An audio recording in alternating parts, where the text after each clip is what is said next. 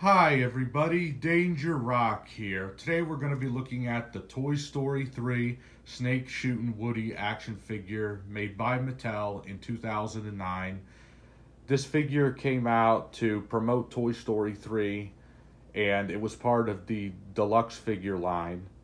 And what I think is really cool about this figure is he comes with an amazing accessory. And before we take a look at Woody himself, we're going to look at this um, accessory that he comes with. Now, this might look really familiar because it was in Toy Story 2 actually when Woody meets the Roundup gang for the first time and he sees all the famous Woody's Roundup merchandise because he was part of um, a famous um, TV show in the 1950s called Woody's Roundup. Now, this accessory he comes with is really cool because it's got really good detail. I'm sculpted into it right here. It looks straight out of the film.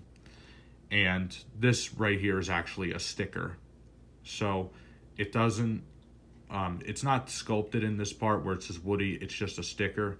But the detail in it is spot on and I really like that it came with this. So what we do is um, we hold this thing right here so I could show you guys. There's a snake in my boot. Now, this thing could actually shoot pretty far. I really like the detail on it. And if we look inside right there, we push it in, it just clicks in place. And you could fire it right out. So that's awesome. That's the main reason why I, I bought this guy because of this awesome accessory he comes with. Now, getting into Woody himself, I absolutely love the detail they put into the vests right here. Really good. Um, one thing I want to point out with um, the most before we start is he has this right here on his arm and that reminds me of in Toy Story 2 where Woody's arm ripped when Andy was playing with him and then the cleaner fixed his arm and then the prospector used his axe and ripped his arm once again. But if we look at this, you know it's just um, plastic right here, it has really good detail to give you the illusion that Woody's arm was ripped. So I really like that they included that on this figure. And if we take a look at his vest, I think the colors are really great and spot on from the movie. That his sheriff star actually says sheriff, which is really film accurate. I really love the detail put into um, his belt and his holster and his pull string. Now, you can't pull it. He doesn't actually talk or anything, but it does move a little bit and it actually does look lifelike to the movie. Um, what I do like about him too is on his head, even though they didn't paint it, they sculpted his hair in right here and that's actually really cool. And I actually really like the detail put into his boots. So what's really cool is you can actually see all of this sculpting right here, which is absolutely incredible. Like, here's the cactus symbol on his boot. It's right there. You look at the bottom of his feet. You get the Mattel logo and a serial number right here. And as far as articulation goes, um, Woody doesn't have much articulation, so his head can move and rotate a full 360. Um, the joints on this figure are very stiff.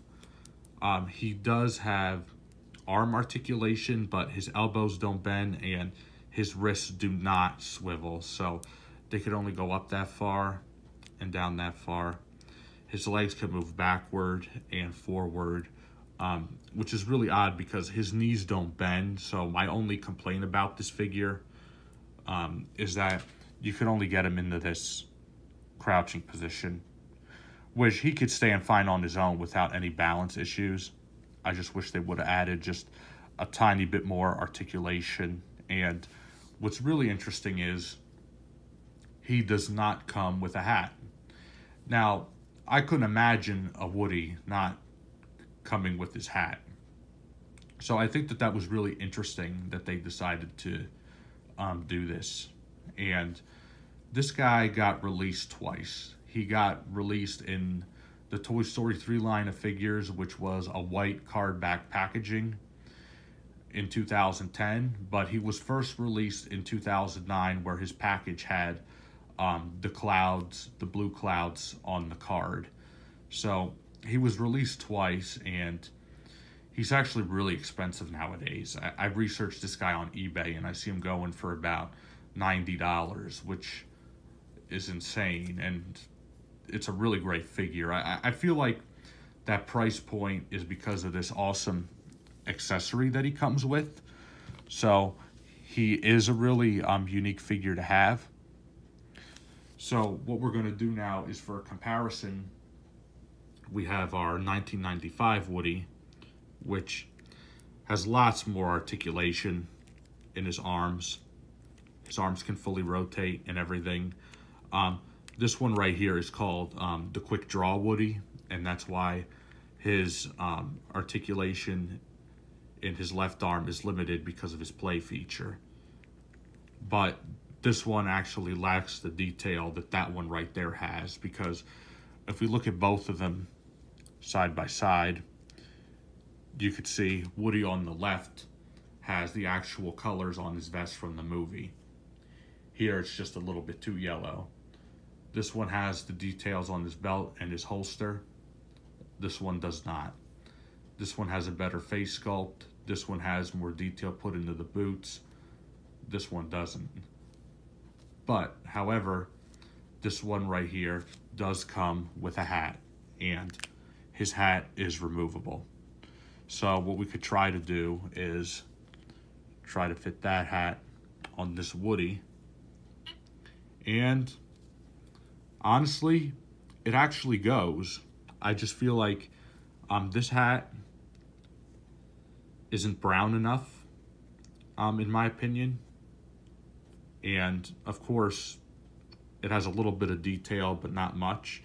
So it's not great, but I feel like it does work well. Like if we put um, our Woody on display like that, that would look actually really cool. But and if we move this around, his hat will not come off. But that's just um, my preference and my opinion. But um, this hat did come with this Woody right here. And this one to me is still a classic, even though it doesn't have the detail that some of the figures later on released by um, Mattel and Thinkway Toys do. So back to setting him aside. Um, but overall, I would still recommend getting this guy. He is a really old figure now, and I would get him because of the accessory he comes with just makes him all worthwhile. And this is the only way to get this accessory right here.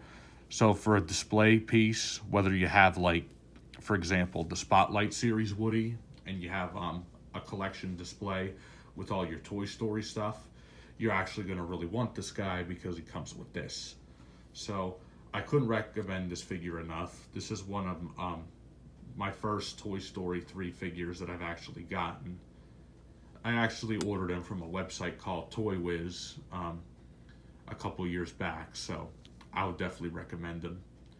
So, yeah, um, this has been my review of the Toy Story 3 Snake Shooting Woody action figure. If you like this video, please leave a like. Please subscribe to my YouTube channel. I will be doing some more Toy Story reviews in the future. So, um, guys, let me know in the comments down below what your thoughts is on this figure and this awesome accessory that he, he comes with. Um, thank you guys for watching as always, and I'll see you guys on the next video review.